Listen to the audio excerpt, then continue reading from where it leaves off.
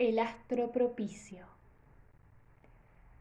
Al rendirse tu intacta adolescencia, emergió, con ingenuo desaliño, tu delicado cuello, del corpiño anchamente floreado.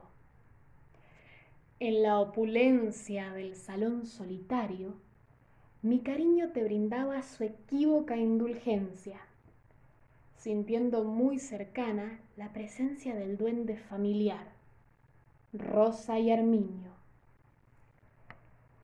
Como una cinta de cambiante falla, tendía su color sobre la playa la tarde, disolvía tus sonrojos en insidiosas mieles mi sofisma, y desde el cielo fraternal la misma estrella se miraba en nuestros ojos.